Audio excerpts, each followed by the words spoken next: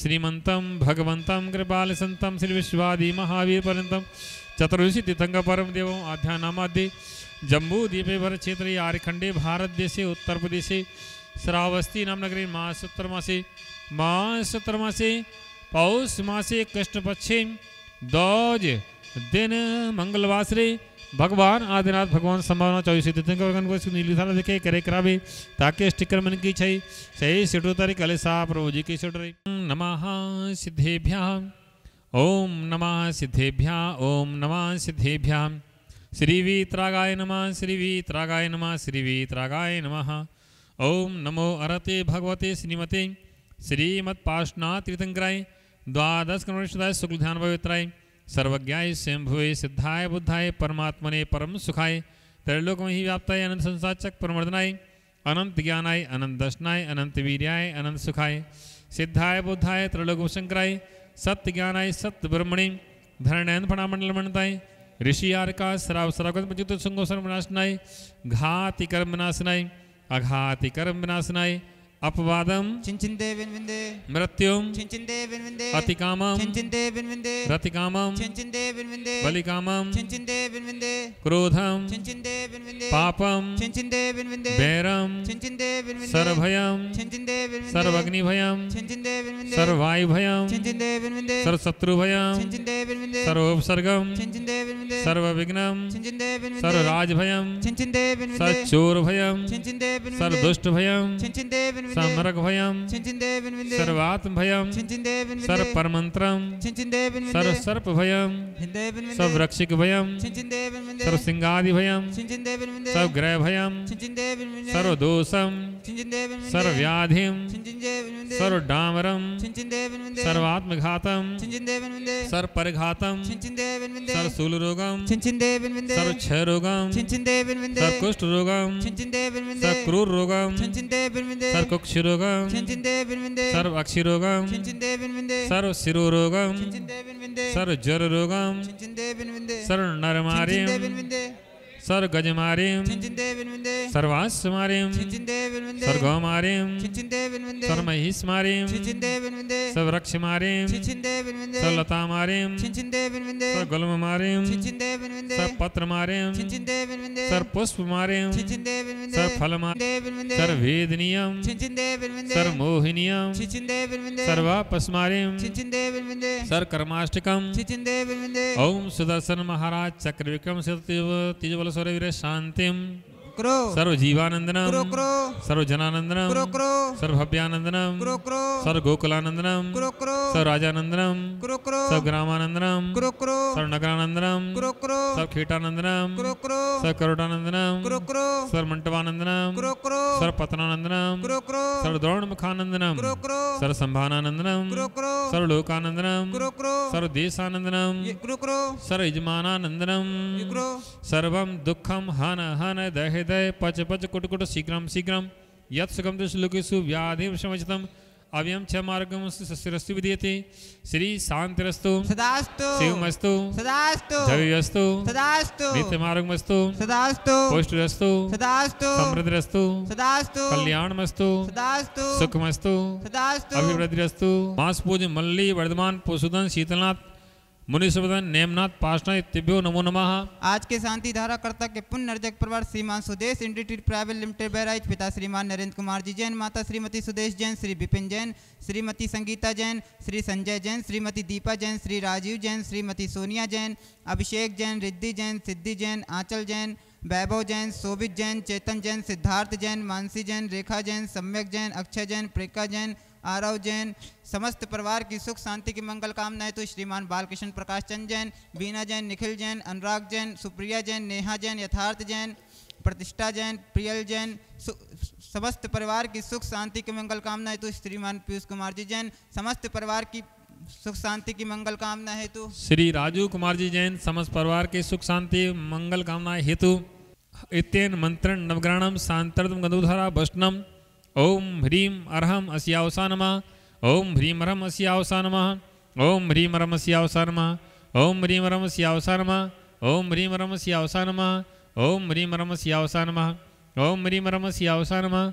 ओम ह्रीम अरहम अस्यावसा नमः ओम ह्रीं रम सियावसा नमः ओम ह्रीं रम सियावसा नमः ओम ह्रीं रम सियावसा नमः ओम ह्रीं रम सियावसा नमः ओम ह्रीं रम सियावसा नमः ओम ह्रीं रम सियावसा नमः ओम ह्रीं रम सियावसा नमः ओम ह्रीं रम सियावसा नमः ओम ह्रीं रम सियावसा नमः ओम ह्रीं रम सियावसा नमः ओम ह्रीं रम सियावसा नमः ओम ह्रीं रम सियावसा नमः ओम ह्रीं रम सियावसा नमः ओम ह्रीं रम अस्यावसा नमः ओम ह्रीं रम सियावसा नमः ओम ह्रीं रम सियावसा नमः ओम ह्रीं रम सियावसा नमः ओम ह्रीं रम सियावसा नमः ओम ह्रीं रम सियावसा नमः सम्पूजिकानां, प्रतिपालिकानां, यतीन्द्रसामान्यतपोधनानां, देशस्य राष्ट्रस्य पुरस्य राज्ञः, करोतु शांतिम भगवान जिनेन्द्र।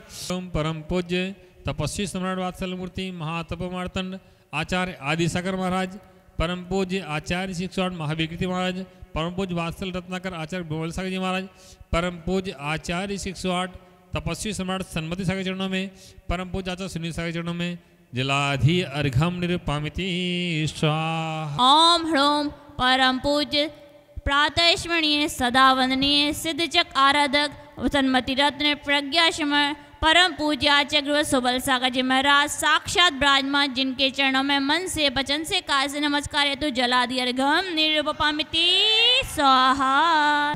शंभोनाथ भगवान की जय। बोले, श्रावस्ती वाले बाबा की जय।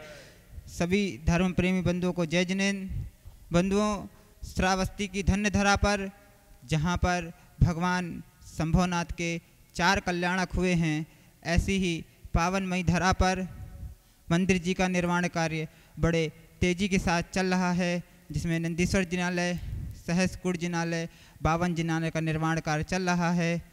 उसमें कुछ मूर्तियों के नाम हमारे पास आए हैं, जो इस प्रकार हैं।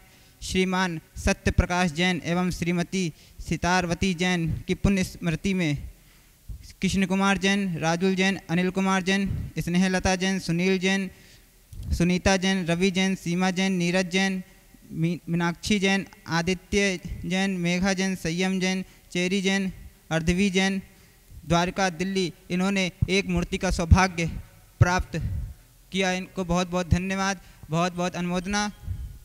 एक नाम और आया श्रीमान नरेंद्र कुमार जी जैन, श्रीमती वसुंधरा जैन, अनुज जैन, निधि जैन, संयम जैन वसुंधरा गाजियाबाद, इन्होंने भी एक मूर्ति का सौभाग्य प्राप्त किया। इनको भी बहुत बहुत धन्यवाद बहुत बहुत अनुमोदना। वीरेंद्र कुमार जैन, अशोक बिहार, दिल्ली, शाह परिवार, इन्होंने भी एक प्रतिमा का सौभाग्य प्राप्त किया। इनको भी बहुत बहुत धन्यवाद। श्रीमती नेहा जैन, इन्होंने भी एक मूर्ति का सौभाग्य प्राप्त किया। इनको भी बहुत बहुत धन्यवाद बहुत बहुत अनुमोदना। श्रीमती प्रियंका जैन, इन्होंने भी एक मूर्ति का सौभाग्य प्राप्त किया। इनको भी बहुत बहुत धन्यवाद। बहुत बहुत अनुमोदना। कुमारी मेघना जैन, इन्होंने भी एक मूर्ति का सौभाग्य प्राप्त किया। इनको भी बहुत बहुत धन्यवाद बहुत बहुत अनुमोदना।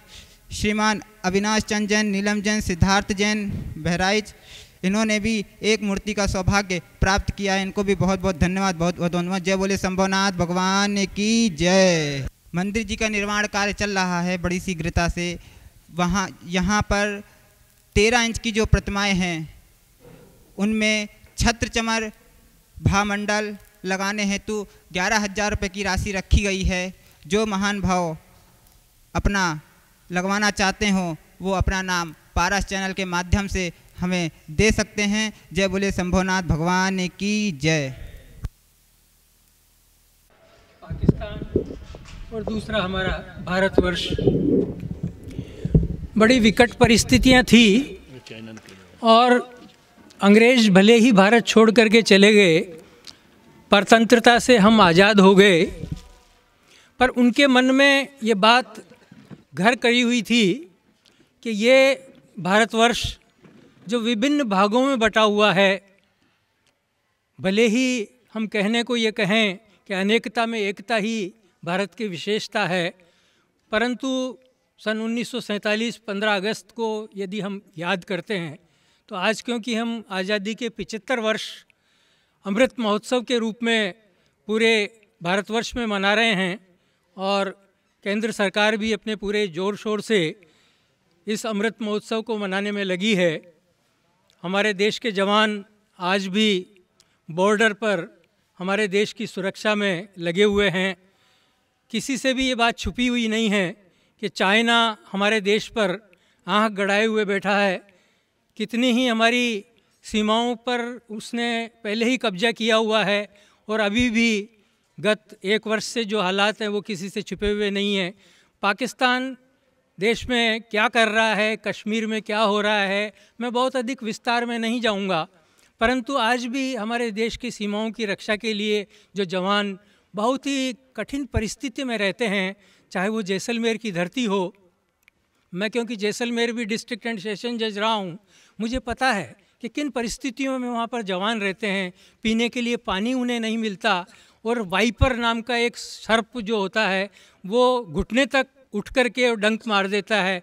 तो यहाँ तक कि वो घर, भरी गर्मी में जूते पहनते हैं, पानी उनके टैंकर आता है और खड्डे में डाल दिया जाता है।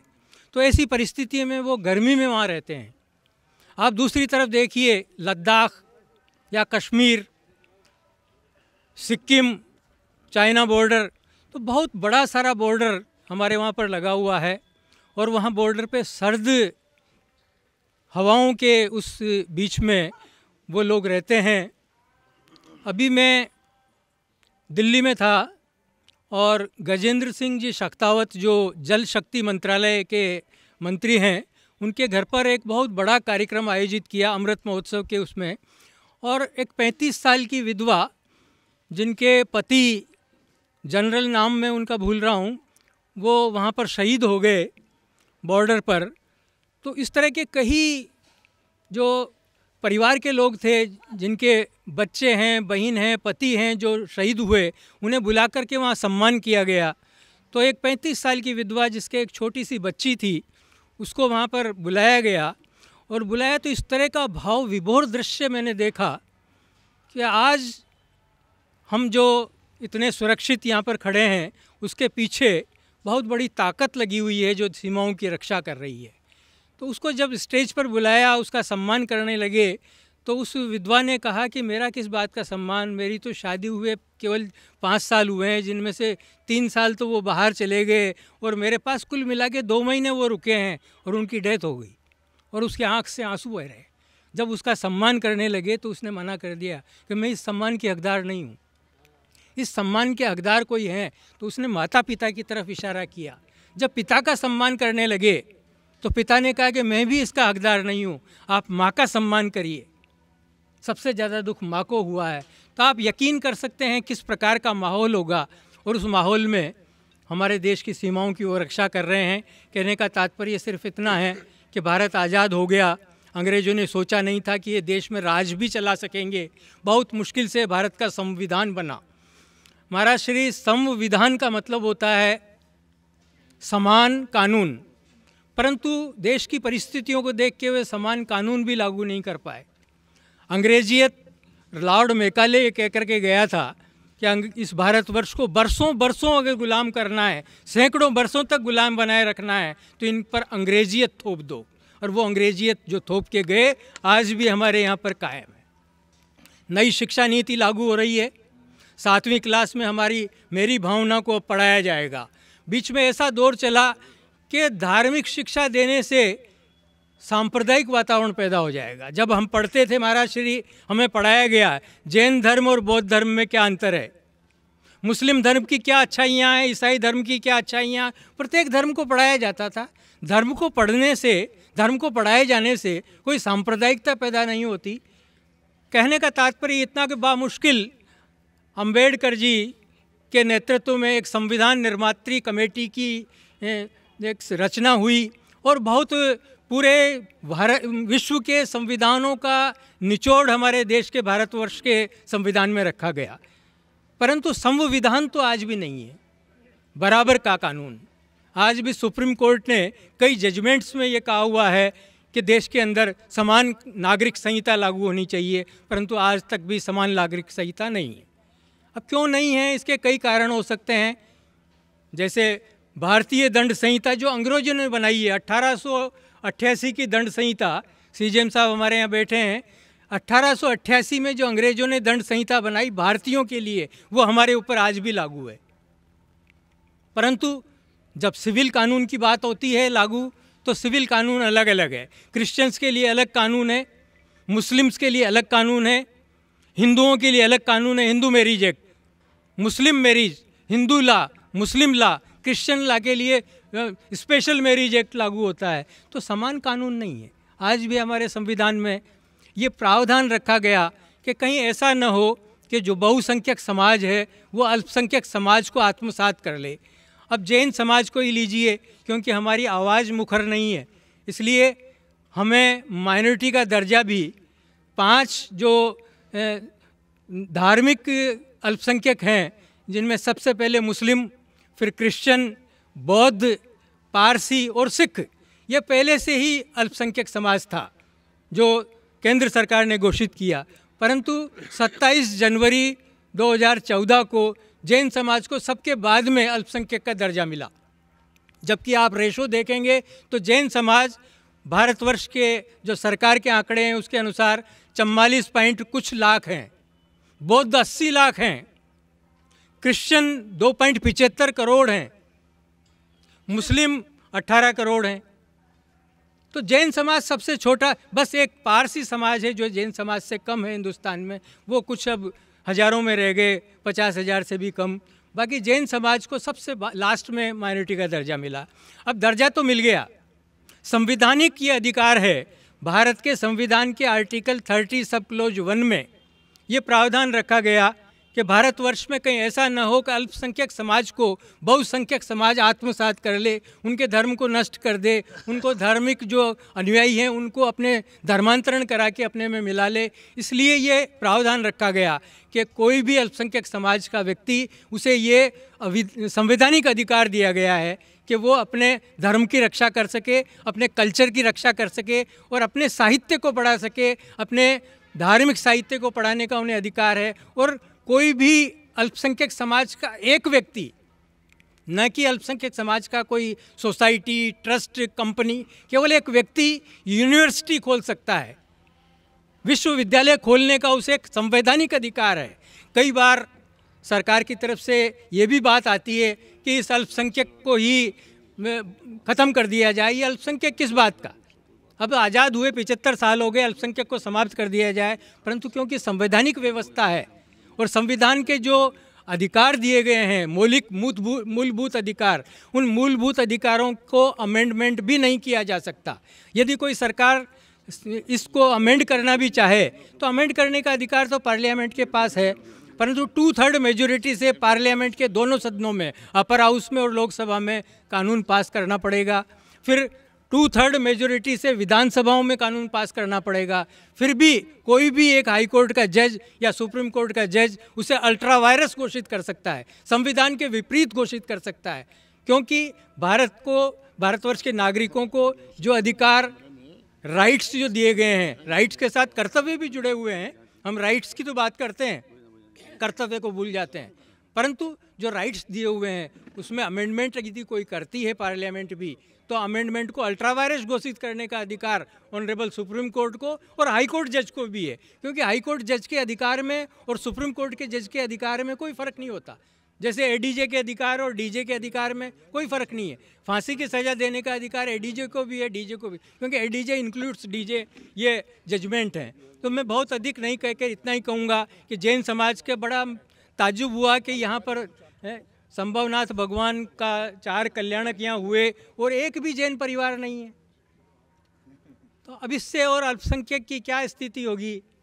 और हम मात्र चम्वालीस पॉइंट कुछ लाख हैं तो हमारी सुरक्षा हो। मैं यहाँ डीएम साहब भी बैठी हैं, एसडीएम साहब भी बैठे हैं भी जितना आप लोगों से बन पड़े, इनकी मदद की जाए।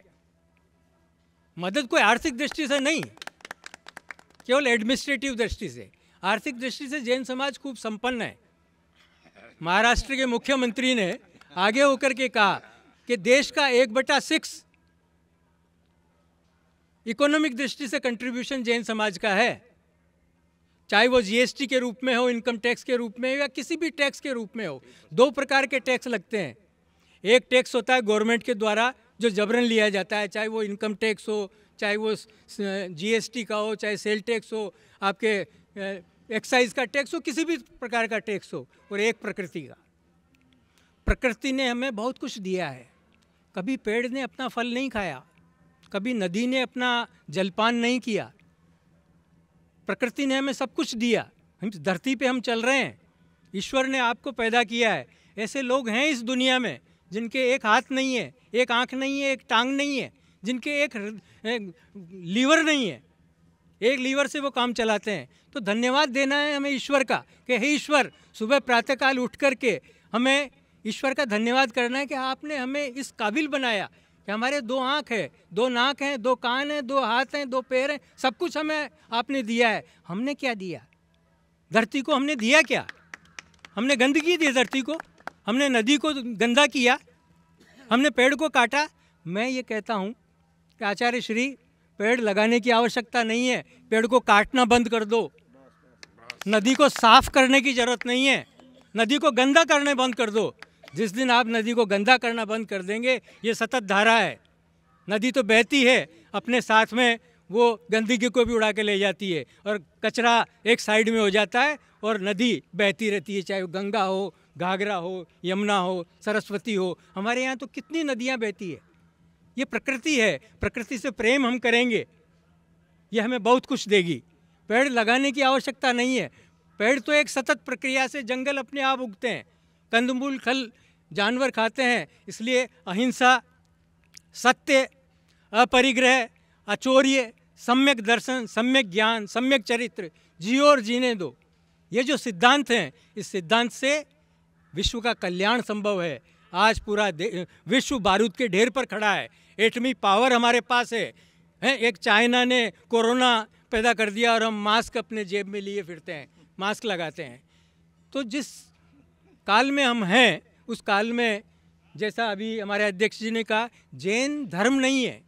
जैन एक जीने की कला है। अगर जैन धर्म को हम सिद्धांतों को आत्मसात कर लें, मानवाधिकार की कोई आवश्यकता ही नहीं है। मानवाधिकार और कानून है क्या? कानून कुछ नहीं है। हम वो चीज़ नहीं करें, दूसरे के प्रति जो हम अपने प्रति नहीं चाहते। हम ये नहीं चाहते कि हमारी संपत्ति को कोई चोरी करे। हम नहीं चाहते कि हमारे ऊपर कोई डाका डाले, हम नहीं चाहते कि हमारे साथ कोई मैन हैंडलिंग करे, कोई मारपीट करे, हमारी संपत्ति को कब्जा ले। तो आप भी मत करिए ये, यही कानून है, इसके अलावा कुछ नहीं है। तो मैं बहुत समय ले चुका हूँ और आचार्य श्री को सबको सुनना है। आप सब लोगों का बहुत बहुत धन्यवाद। इस काबिल तो हम नहीं है कि इस प्रकार का स्वागत किया जाए, परंतु जो भी स्वागत किया, मैं अभिभूत हूँ आपके इससे और मैं एक बात अवश्य कहूँगा। वैसे जैन समाज यह है नहीं, कि संपत्ति यानी मनी की तीन गतियाँ होती है। दान, भोग या नाश। जब शमशान में किसी अर्थी के साथ जाते हैं तो कितना वैराग्य प्राप्त होता है, ओह, ये आदमी ऐसा था, और संसार में क्या रखा है? सब कुछ यहीं छोड़ करके चला गया, और एक दिन हमें भी जाना है, और जैसे ही शमशान से वापस आता है, अपने फिर दुनियादारी में वो लग जाता है। तो या तो इस संपत्ति का जो आपने कमाई है, इसको दान कर दीजिए, क्योंकि इसके दान से कोई अच्छा चीज़ नहीं हो सकती। या फिर इसे भोग लीजिए, वरना फिर इसका नाश संभव है। क्योंकि पुत्र सुपुत्र तो क्यों धन संचयी? और पुत्र कुपुत्र तो क्यों धन संचयी? आप अपने बच्चों को अच्छा शिक्षा दीजिए अच्छा उसको कल्चर दीजिए। आप अपने धर्म की शिक्षा दीजिए, अच्छे मार्ग पर चलना सिखाइए। अगर ये करेंगे तो फिर आपका जीवन धन्य है, आप कामयाब हैं। वरना फिर सीजीएम साहब की अदालत में पूछा जाएगा, तू तेरा नाम बता, तेरे बाप का नाम बता, तेरी जाति बता, तेरी उम्र बता, तू कहाँ का रहने वाला ये बता। ये सब पूछा जाएगा आपसे। इसलिए इन सबसे बचना है। तो हमें सदकर्मों की ओर बढ़ना चाहिए और डेट निश्चित है। हमारे लिए डेट निश्चित है, जिसने जन्म लिया है, उसको वापस जाना है। कब जाना है? कैसे जाना है? ये हमारे ऊपर निर्भर करता है। अच्छी करनी का अच्छा फल मिलेगा। अपनी अपनी करनी का फल सबको मिलता है। इस भव में, ना सही पर भाव में मिलता है। मैं बहुत अधिक समय लिया है, इसके लिए क्षमा प्रार्थी हूँ। आचार्य श्री क्यों बता